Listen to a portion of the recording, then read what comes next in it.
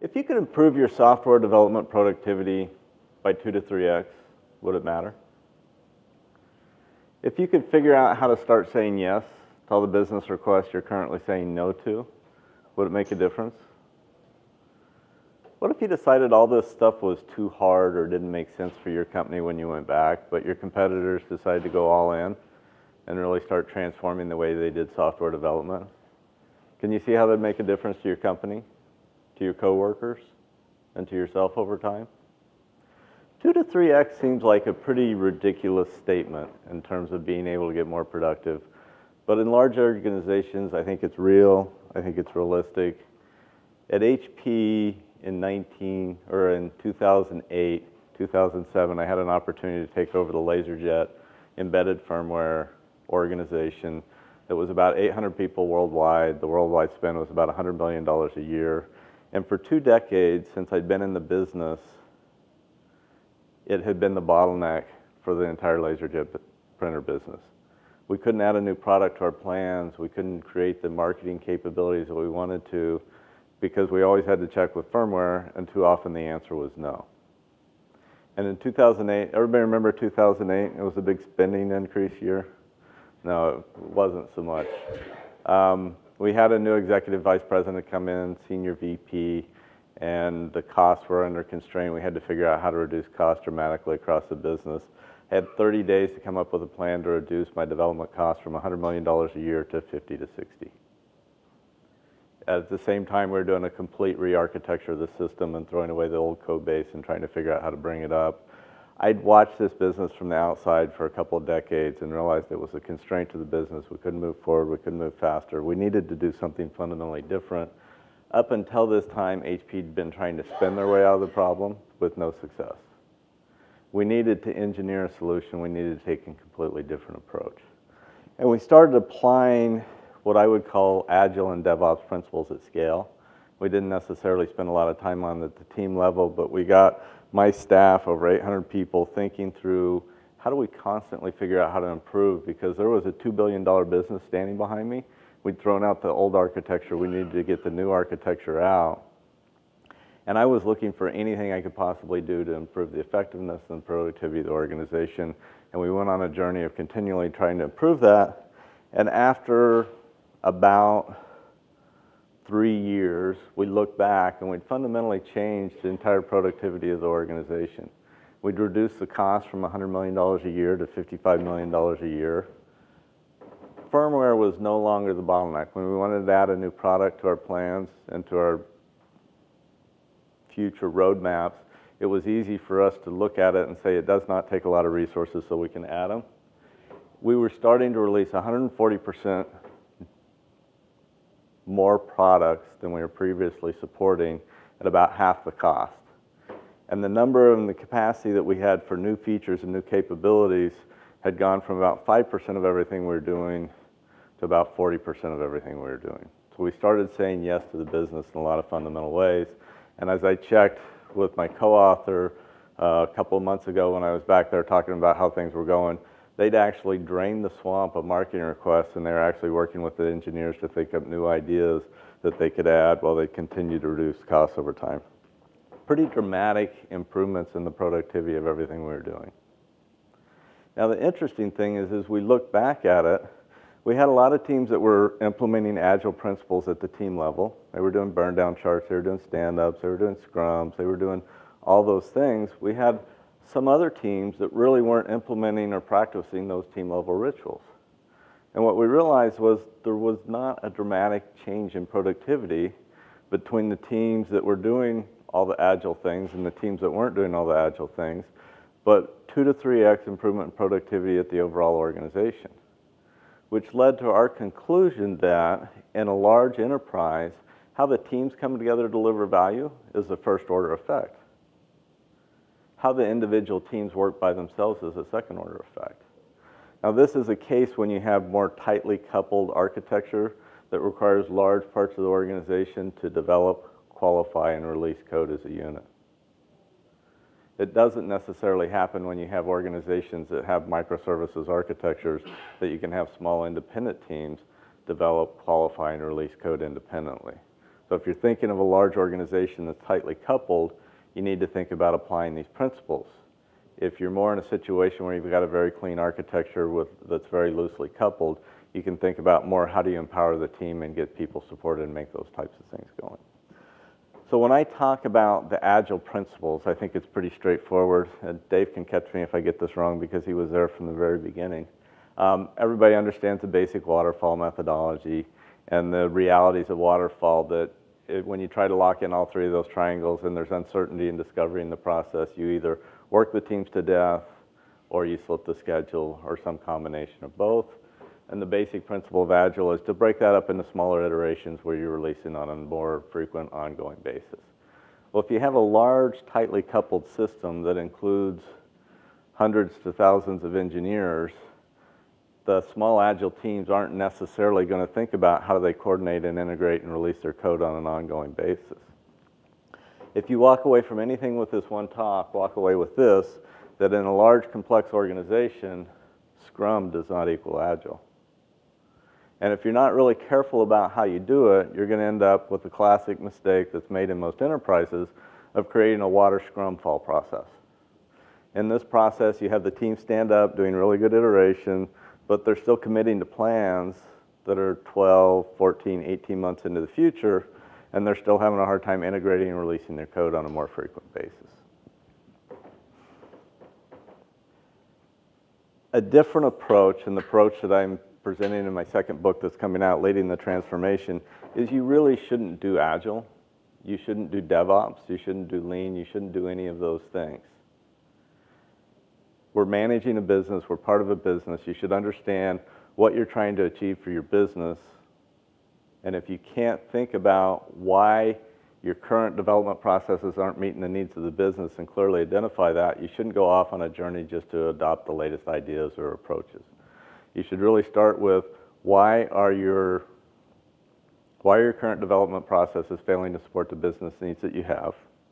And get that very clear because a transformation like this is going to take a while and you always need to look at what's the long-term vision, what's the long-term direction, what are the things that are in the way of getting this done, and what are we trying to achieve. And then once you have the business objectives, you can start to look at your toolbox. And your toolbox has Kanban ideas, Lean ideas, Agile ideas, DevOps ideas, and you should take the tool out of the toolbox that's going to fix the problem that's your biggest barrier to making your business improve.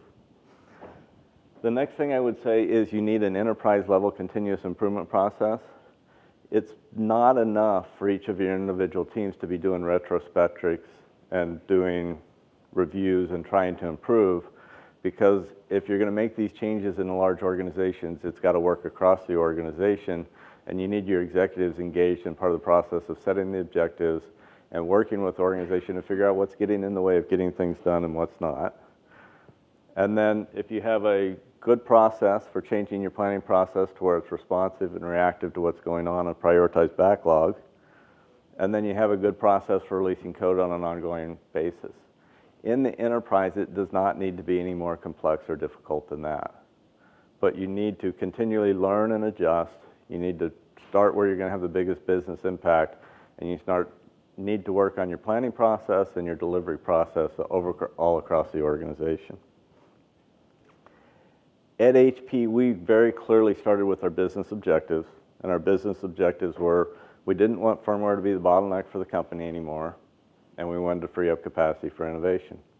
So when we looked at those things, we started looking at our value proposition, and we started looking at anything that was a cycle time driver or a cost driver that wasn't key to the value that we were trying to provide to the company, and anything that wasn't, we automated, we eliminated, or we engineered it out of the system fundamentally changed everything we were trying to do. The next thing is you need an executive-led continuous improvement process, and this is more than just an aggregate of what the teams are doing. Because if you've got a thousand people and you've got, you know, a hundred different teams, your strategy can't be an aggregate of all those different teams if you're going to try to coordinate work and coordinate improvement across the organization and make that piece work. So you need to start with setting objectives, I know most agile teams will work on a two-week or a month or a one-week basis and sort of iterate and respond. But if you're in a large organizations, I've found about a month works well. It gives you time to set those objectives and it also gives you time to get alignment across the organization that those things are important and achievable and possible to do. Once you set those objectives, you don't change them during the iteration. You focus in on them, and then as executives, what we would spend our time doing is trying to figure out what was getting in the way organization's way of getting these things done.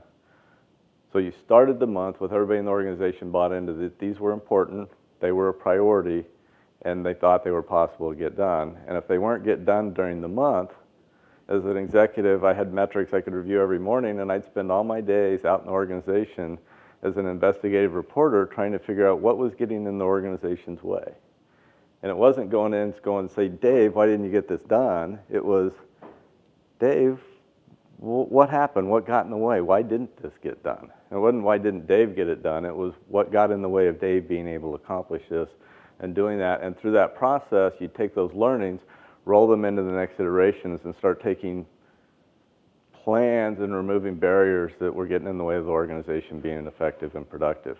And it was an interesting cultural change as a you know, leader over an 800 person organization, when I started showing up at the desktop of an engineer that was struggling, it was a bit intimidating at first.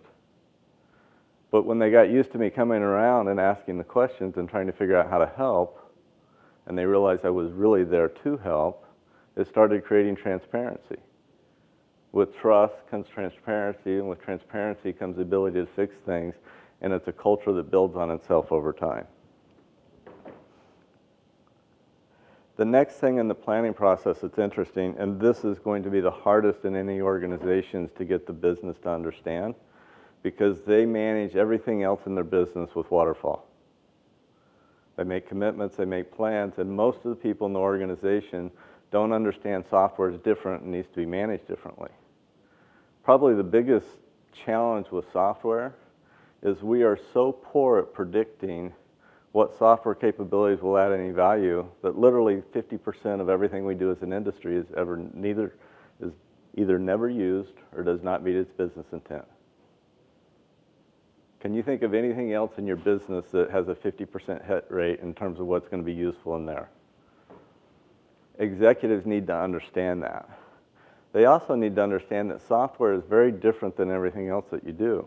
If you're going to build a new manufacturing plant, it may be a little different size, it may be a little different shape than anything that you've done before, but it's going to be leveraged off of most things that you've been doing for years and years over different times, and there'll be some discovery in the process. When you go off to write new software, you're doing it for the very first time, the very first time ever, and it's really hard to think through all the things, and you can sit around and plan and plan and plan, and basically work your way up this slide where over time you can invest more and more in planning, but you meet diminishing returns. After a while, the best way to learn more about what your schedule is going to be is start writing code and start validating some of your assumptions and figuring it out. Most executives don't get that. And so hopefully chapter five of my new book is something that you can share and put on their desk, work through that, and help them understand that if they are going to be effective at managing software, they need to think about how to manage it differently. So 50% is never used. It, it's, it's hard to get it accurate, but the advantage of software is if you develop it right, it can be changed up to the last minute. Anything else an executive is doing in their business, if they get it wrong and they, they planned it wrong, it's very expensive to change. If you poured all the cement in a factory, but you had it planned wrong, that's going to be very expensive to change. That's not the case with software.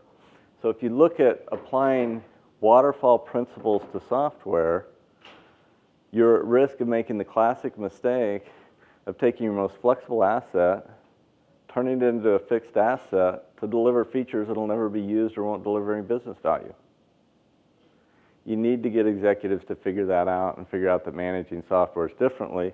Otherwise, they'll waste a lot of resources working all the way out to end, this end of the curve because they think if they just spend more time planning software, it will get better over time. Probably a lot of people more came to listen to the DevOps side of this. I've spent a lot of time implementing a very large scale continuous integration thing at HP And then at Macy's, I led our transition to continuous delivery for the website over across the organization. A lot of the learnings will be shared based off of that. The first thing you need to start with are what are the objectives that you're trying to do if you're going to try to apply DevOps principles? If you're going to try to release on a more frequent basis, um, one of my experiences, we went in, we said, well, we're going to do continuous delivery, and we think it's important to do continuous delivery. And I joined the company because they had an effort to do continuous delivery, and I'd read Jez's book, and I liked it, and I wanted to go learn more about how to make that happen. And we'd taken one application, and we said, okay, we're going to do scripted environments, scripted deployments, automated testing, evolutionary database on that one application. What we quickly found over not quickly, about over nine months, is we were struggling to deliver the value that we expected to and help the company because we couldn't independently develop, qualify, and deploy that code because it was too tightly coupled to the rest of the system. The organization was able to look back at us and see the fact that we'd invested a lot of money and time and resources trying to do continuous delivery, but it wasn't affecting their day-to-day work. And I went and spent the afternoon with Jez and brainstormed and worked on it for quite a while, and I realized we'd made a mistake that I didn't make at HP. At HP, we didn't go off to do Agile. We went off to improve our business and meet our business objectives. And so I stepped back from what we were trying to accomplish when we were doing continuous delivery and said, what are those objectives that matter? And the very first thing is we wanted to provide good real-time feedback to the developers because we wanted to help them become better developers. We also wanted to make sure that was in an operational-like environment as we possibly could because we wanted to make sure the operations team and the development team were aligned on common objectives instead of developers trying to figure out how to get a feature done and sign it off on the desktop and then throw it over the wall and ask operations to try to figure out how to get it in production. That doesn't work very well. The other thing in a large organization is you tend to take a lot of resources going from release branch into production. takes a lot of time, like takes a lot of effort. That's non-value added in your system. And then the other thing we're focused on is we are struggling with the reproducibility and repeatability of our build, deploy, test process. So we wanted to clean that up. And when we focused in on these things, it really helped guide our, guide our directions. One of the biggest things you're trying to do in a large complex enterprise system is find the offending code so you can get it fixed so you can get the quality up to the point where it is releasable. Imagine everybody knows their top triagers that go through the code in the beginning in the end game, and what they're trying to do is who brought in code that was offending. Now, if I go to Dave and I go to Dave six, eight weeks after he's written some code and says, hey, Dave, it looks like you brought this in and it broke all these tests. What were you thinking what you were doing? To which point Dave's going to go, ah, what tests? When? Are you sure it was me? You know, Dan gets in that code a lot. I bet it was Dan and it probably wasn't me. And so what you're trying to do with your process of DevOps is really isolate who in the last six, eight weeks since your last release brought in that offending code and then give them that feedback. If you can do that within hours, I'm no longer beating up Dave for being a bad person. I'm helping Dave become a better programmer because I'm giving him the feedback in an operational like environment to understand what it takes to make it work all the way out to the customer. And you get the organization focused on how do you transition this all the way through. The other big cultural change is developing on trunk. If you look at a very large complex enterprise system and you say, we're going to do development all on trunk, uh, at HP, we had 20 some odd different products we were supporting. We were supporting MIPS processors, we were supporting ARMS processors, we were supporting little printers, and we were supporting big copiers. We had different scanners, we had different paper handling, we had all those different things. All that was done on one trunk with ARMS, MIPS, XP, and CE. At runtime compiled for the specific product. When I started talking to the organization about doing this, they thought I was crazy. They would avoid making eye contact when I walked down the hall. They could just ignore him. He'll come back to his senses or he'll fire him. This is HP, it works that way. Um, and then over time, there was one day Roger Tweed came up to me and goes, You know, I think we can make this work. We'll just feature bind this, we'll runtime compile it, we'll make it all work. We'll take all the if-then statements out of the code base, we'll put it in an XML file that defines the product. All the code will reference that product, and we'll quickly be able to port it to all these different products. Well, that started to make sense. It was really hard for my lead over release and test to figure out and build to figure out how to buy into this process. He thought I was crazy for the longest time. He actually would want to come up to me and talk to me on a regular basis. Okay, branching, we're going to branch. No, Troy, we're not going to branch. Because previously we would have like 10 different branches re representing products in different windows of releases. Like, no, Troy, we're not going to branch. He wore out a thesaurus trying to say branch without saying branching. He'd say, well, when we go to this different place at the end, then how are we going to manage the code? And no, we're not going to branch, Troy. It doesn't help to use different words. And after about two years, three years, I was getting ready for our first release of the new architecture for a scanner that we were trying to get the door. And it's like, okay, Troy, I'm ready to branch. He's like, well, You're crazy. We can't branch and lose all the efficiencies of working on one trunk with all the automated tests and all the quick feedback. You're crazy. And then he went on a river trip down the middle fork of the salmon, and there's a fly-in ranch there halfway down. It's called the Flying B Ranch. And he came up to him with his hat on. He goes, "We don't need no stinking B ranch." I like that story for a few reasons. One is until you've worked in this type of environment, you can't imagine working in this type of environment. Once you've worked in this environment, you can't imagine working any other way. I've had several people leave HP, call me up, go, Gary, you can't believe this new company I'm working at. They've got no system, they've got no continuous integration, all the automated testing is not working. I don't have the coverage. I don't have the ability to program with trust and reliability and go fast like I used to. I have to go slow, slow, and then I have to always be fixing things later, and then the code base I'm in is not stable, and I can't understand the effects of my changes. The key in this is going on that journey from non-believers to not being able to imagine working any other way. But you should start with your fundamentals. I think the biggest thing that people are starting to understand as they do continuous delivery is you're in one of these two camps. Almost everybody you'll hear presenting at conferences like Velocity or a lot of those has very clean architectures that enable small agile teams to independently develop, deploy, and qualify code. That's ideally where you should be. I'd love to be that way. I tend to work more in legacy, large legacy organizations that have architectures that look a little bit more like the architectural diagram on the bottom of the screen over there, where it takes hundreds, if not thousands of people working together to develop, qualify, and deploy code. If you try to implement the ideas that you're hearing at the Velocity conference, when you have an architecture that looks like a ball of string, it's not going to work very well. So before you start applying DevOps principles, figure out where you are in terms of that independence of teams and figuring out how to work together. I would encourage you where possible to architect. I think Rebecca covered some good information on how to re-architect the microservices to enable this to happen.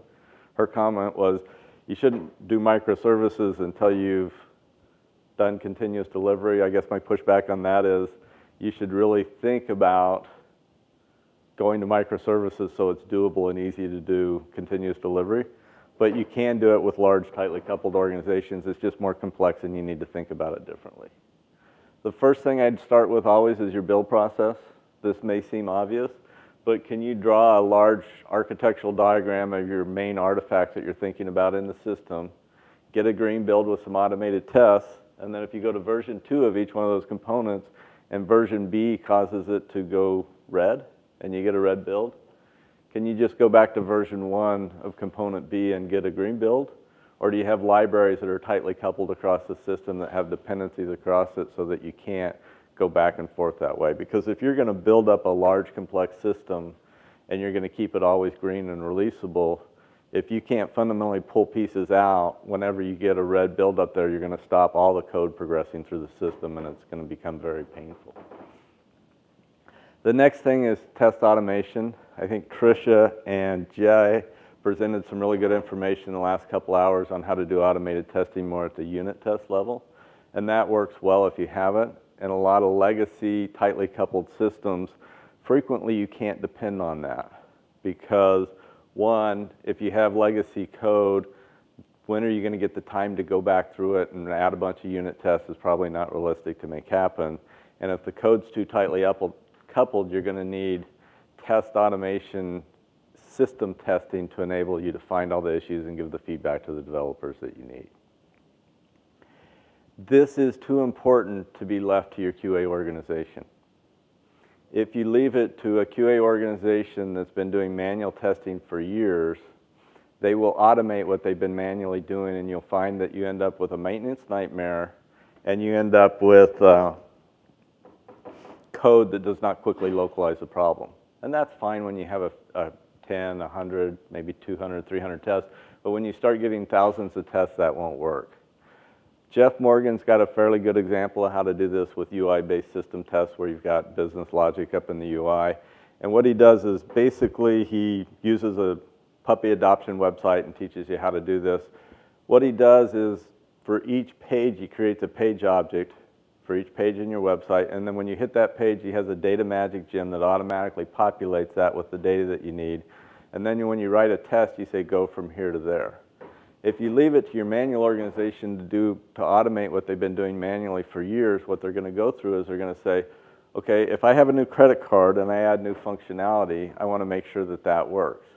First thing I'm gonna do, I'm gonna go to home page, I'm gonna go to men's, I'm gonna go to blazers, I'm gonna go to blue, and I'm gonna pick this, I'm gonna add the product to my cart, and then I'm gonna check out, does the credit card work?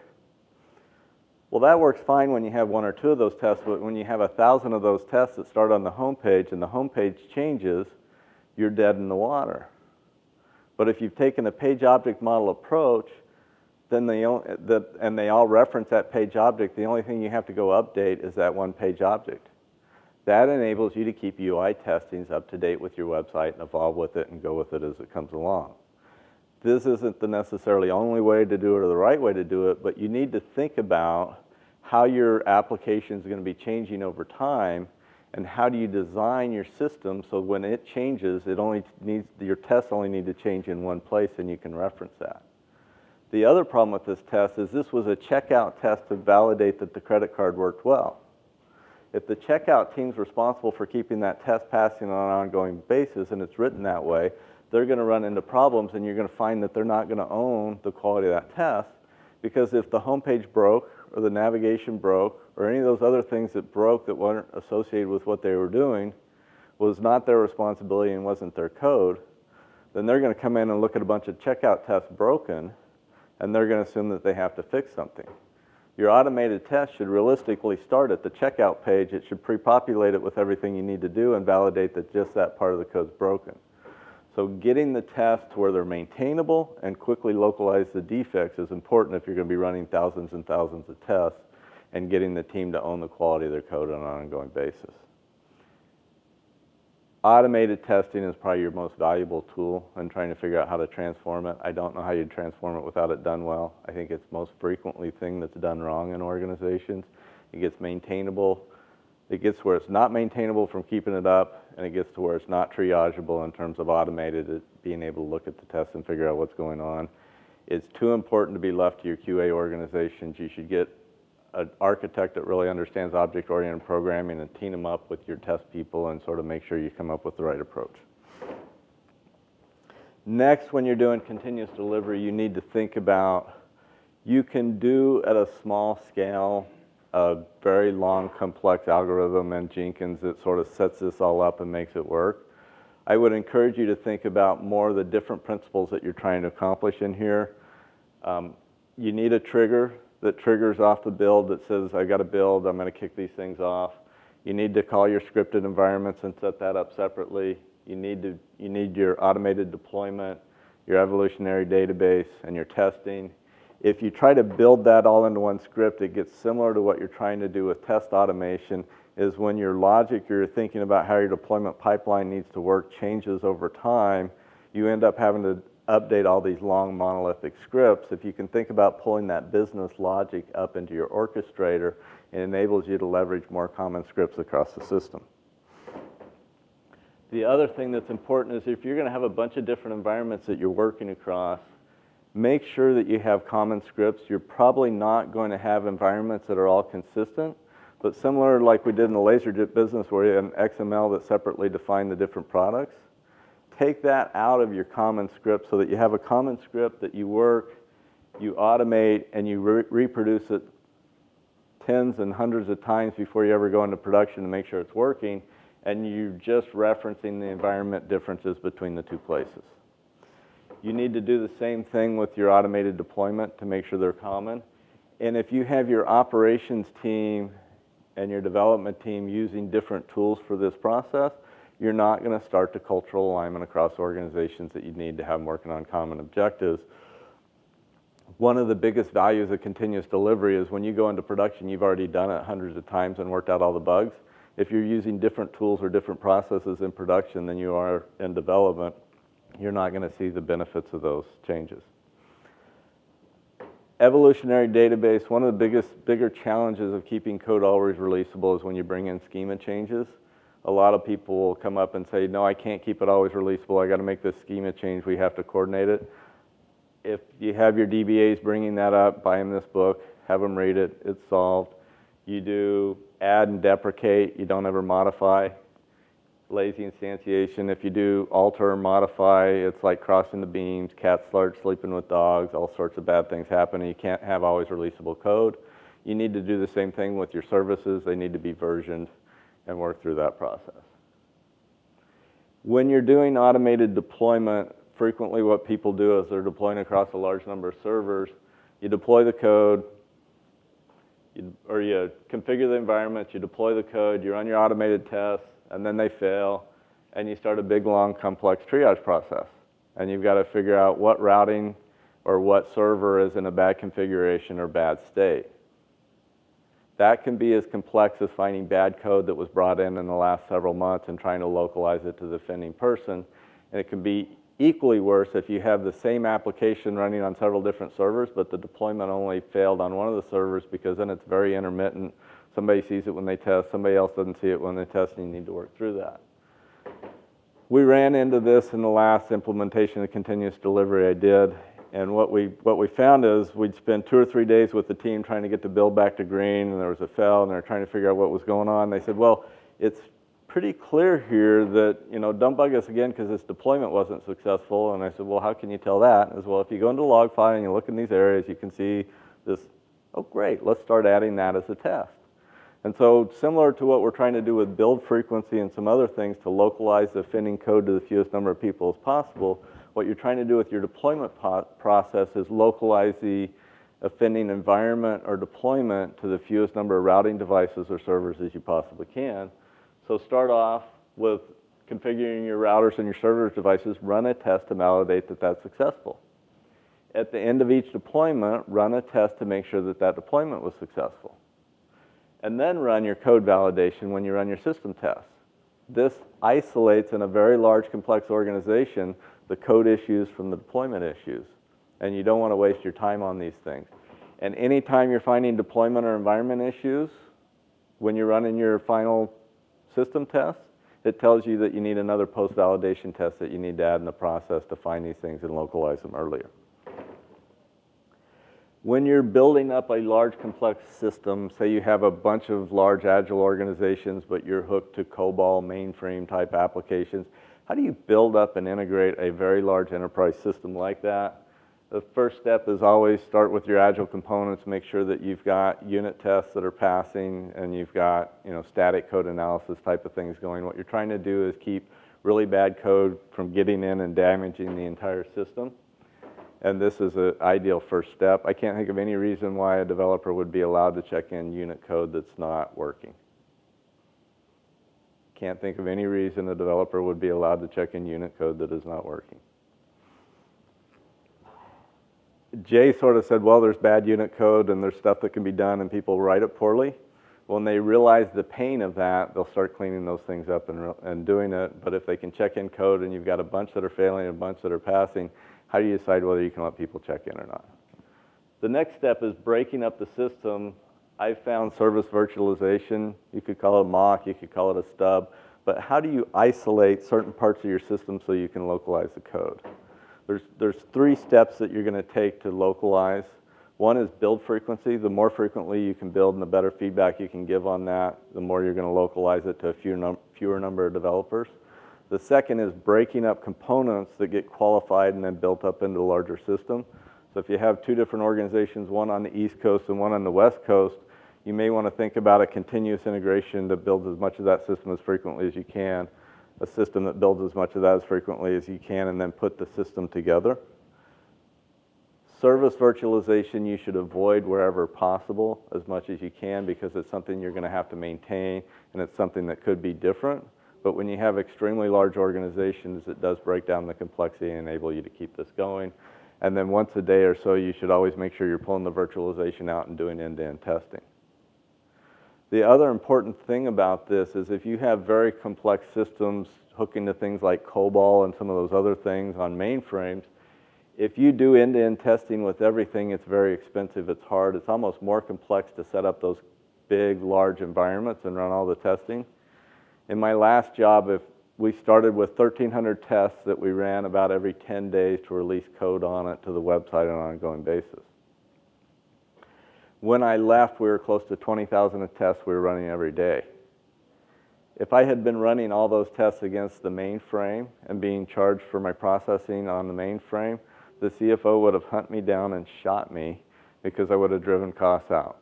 So the idea here was test as much of the system back here, and then if I had 100 tests that sort of did end-to-end testing and used the service in a similar way, run the hundreds of tests when I was in this phase of my deployment pipeline, and then when I got to this phase, just pick the one that I thought added the most value and do the end-to-end testing on it. It's different from how a lot of organizations approach it, where they want to have the customer sign off on end-to-end testing with everything, and you spend a bunch of your time and effort trying to put the whole system together and make it work. The other thing that I would say, you heard of people talking earlier about how do you get your teammates bought in and encouraged to keep a bill green and make it work on an ongoing basis. Because what you'll get is a train wreck on the system that everybody has to stop developing code, deploying it, getting it in on a regular basis, or else you know, you're just building up a tarball and you can never get back to a green build. At HP, we had a bunch of stuff we were trying to get done. I had an organization breathing down my throat to look at the feature throughput and what was getting done. And we ran into a day that either an intermittent code or an intermittent test made it into the system, and we were getting red builds. And the build team was getting frustrated. Everybody in the organization was getting frustrated. The build teams added